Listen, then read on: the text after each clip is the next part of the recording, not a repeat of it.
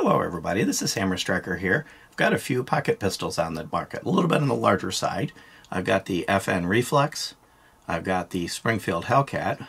This is the newest from FN, this is a little bit newer. And I've got the old standby, the Glock 26. Please don't forget to check out our website. Go to our affiliates page. You'll find discount codes for things like Mantis X and Kore belts. Link to that cool little bore light that we use for lighting up the barrels. Use those links. It will often save you money never will cost you any additional money and helps the channel. And please consider supporting the channel on Playeur, formerly Utreon, where we can do some types of videos that are no longer allowed on YouTube.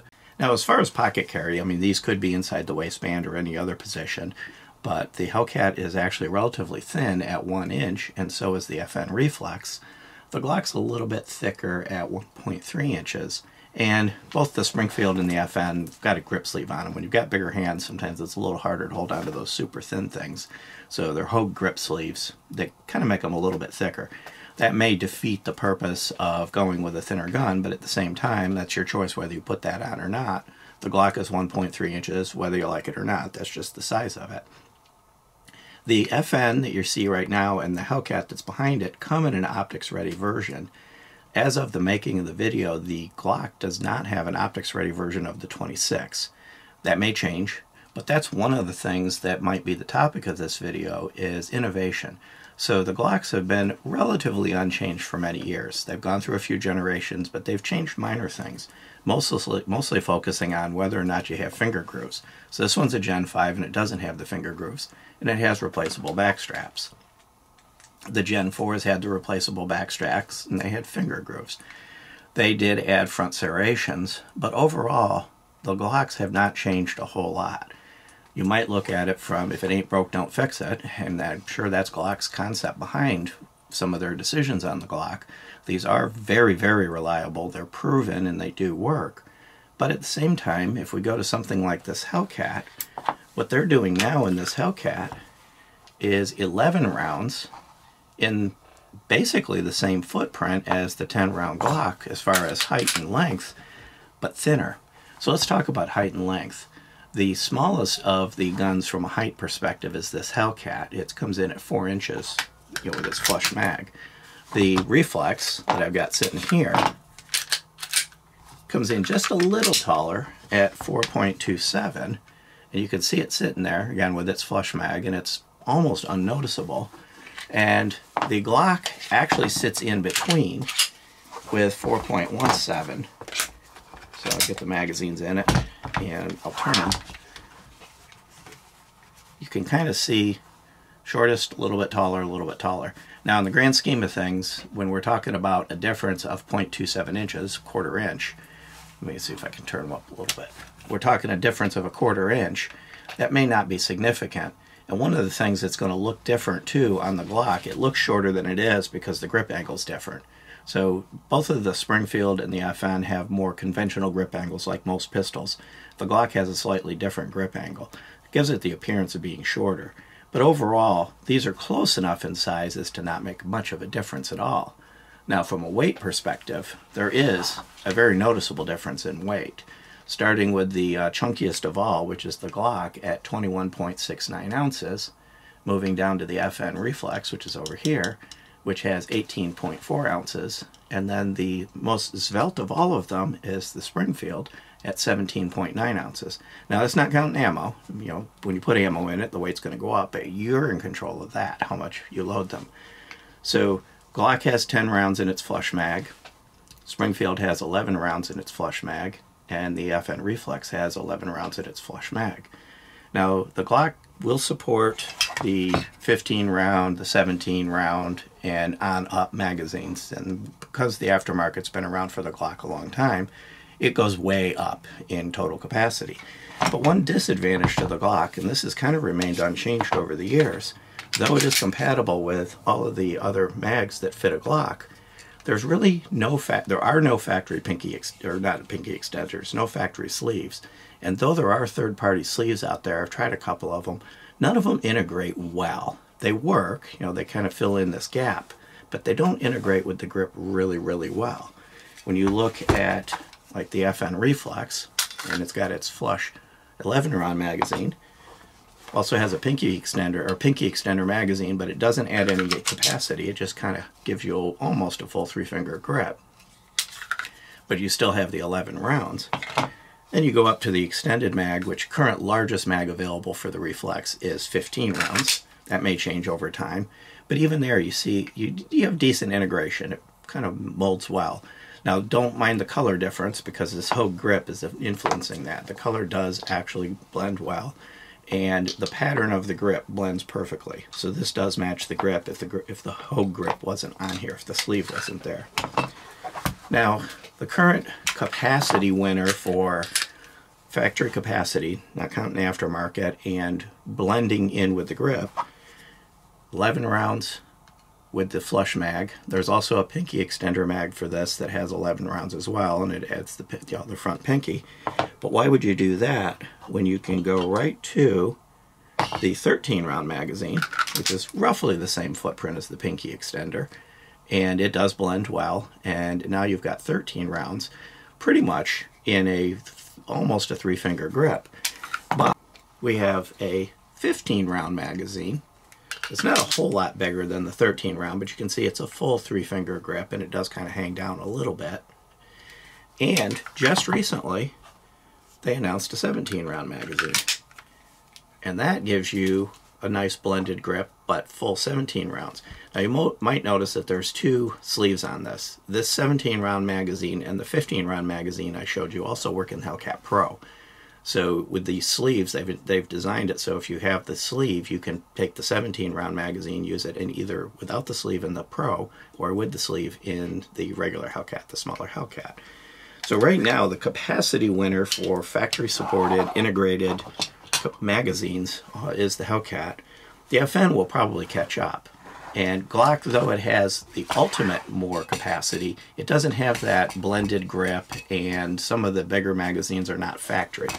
So, again, when you start looking at concealed carry, those big magazines tend to be not what you're looking for. If you're looking for those bigger magazines and you're going to carry it with that bigger magazine in it, you're probably already looking at either a compact or a full-size gun to begin with. Current street prices for these are fairly similar. The Hellcat and the FN are 499 and the Glock is currently around 529. Now keep in mind street prices are going to vary. By the time you watch this video, it may be different, it may be different in your area, but it just kind of gives you a comparative.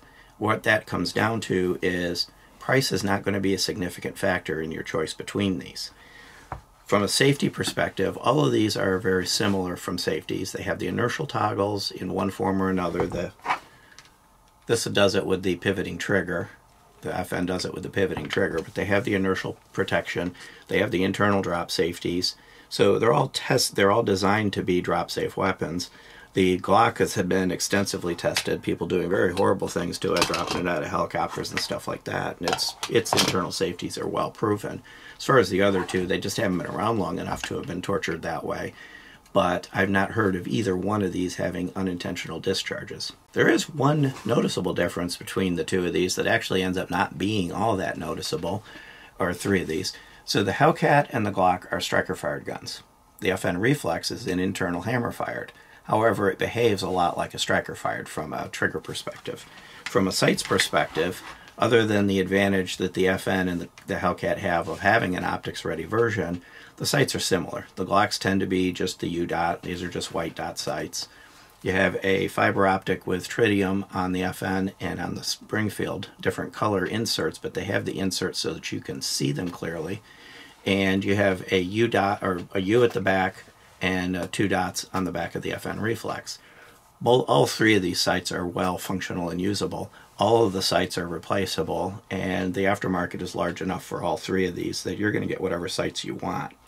But I found that at the range, all of these, the sights worked well. I was able to see them, pick them up, get on target, and use them effectively. I do like the advantage of having the tritium front sight on these two with the ring, so you can see it during the day, which a lot of tritiums kind of fade out to gray at night. See if I can get the camera to focus. Probably not. That's probably about as good as it'll go because it's wanting to pick up the back here. But the white, the plain white on the Glock is less useful at night because it just becomes a black sight at that point. But again, you can change any of the sights on these to whatever you want. So let's talk about triggers. So the Glock has pretty much the same trigger on every Glock that's out there. And one of the nice things about Glock is the consistency across the line. So whether I'm carrying the 26, which I pocket carry this, I'm in Florida, wear shorts all the time. Use like Ariat shorts have bigger pockets, and I pocket carry this pretty much every day. But if I'm out hunting, I've got the same trigger on my Glock 40 when I'm 10 millimeter when I'm hunting hogs or something like that. So there is a consistency. But here's what it is. Here's your take up a very distinct, crisp break, relatively short reset, not the shortest reset on the planet. This thing's not like a PPQ, but you're right on the wall and again with the break. Now if I move to the reflex, there's a little more take up and it's kind of a squishier feel because of the pivoting trigger, but it's not significant. And then it has a crisp but shorter break kind of a longish reset. It's almost all the way out, and then you got a little bit of take up, kind of a little bit squishy, and then a break. It's got a nice trigger. The Glock trigger is a little more defined. This one's a little bit softer. Now I'm going to go to the Hellcat, but I'm going to bring out this Hellcat Pro I've got here because I don't want the cosmetics of this trigger to influence it that it's got an unfair advantage. So this one here is exactly the way it came from Springfield, so it will be apples to apples.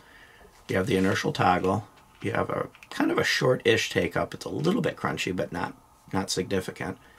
A short, crisp break. Here's the reset. It's a nice short reset. The break is a little bit better feeling than the Glock, and the reset's a little shorter than the Glock. And then you're, again, you're right on the wall and it breaks. So all three of these have very similar triggers, very functional triggers, and I would say that the trigger would not make a difference on any of the three of these as far as is, am I going to be able to use one or the other. And if I hadn't told you that this was a internal hammer fired gun and you watched me mess with the trigger, you probably wouldn't have picked up on it because they really designed it well. It doesn't have any of the characteristics of a, like a classic DASA or anything like that. It does work kind of like a striker gun. On the FN Reflex, initially I wasn't a big fan of the trigger because it did have kind of this take up and then a little bit to get used to the break, but I got used to it. Once I got used to it, the trigger to me is fundamentally the equivalent to any of the others. They uh, have all been reliable, all three of these. Uh, the Glock proven track record. Springfield has been well known for reliability. In fact, they tested this one with like a 20,000 round uh, functional test, and it performed flawlessly. And we all know FN's history is military reliability. They, FN makes a lot of military weapons, so their testing protocols and everything go along with that. So all three of these are known brands, known quality, and known reliability. So it's really going to come down to do you want the smallest and lightest, which you'd be looking at the Hellcat, uh, or are you a Glock fan or you just like the classic size and shape of the 26? But I don't think you could go wrong with any one of these. What I will say is Glock needs to up their game because these new contenders are going to potentially be a real problem for Glock, especially this guy, because you've got, you've got all the same capabilities as the Glock in a smaller, lighter footprint, more native cap cap capacity. They've got a pro version of this, which would be more similar to a thin Glock 19. So I think the Hellcat has got the potential if they keep doing what they're doing in the innovation on this, and Glock keeps not doing what they're doing, which is pretty much staying the same. Glock might be in some trouble with some of these, especially the Hellcat. I mean, if you didn't have anything today and you were shopping and you had nothing, you didn't weren't worried about trigger consistency with your hunting gun and all of that, uh, even though the FN Reflex is a good quality gun, I would almost say take a look at the Hellcat because of the three of these sitting on the table, I think this one is probably the leader of the pack. Beyond that, if you like our videos, please give us a thumbs up, share, subscribe, click that bell up there to be notified if you do. Check us out on Facebook, Instagram, Playeur, Rumble. We're pretty much everywhere. And thank you.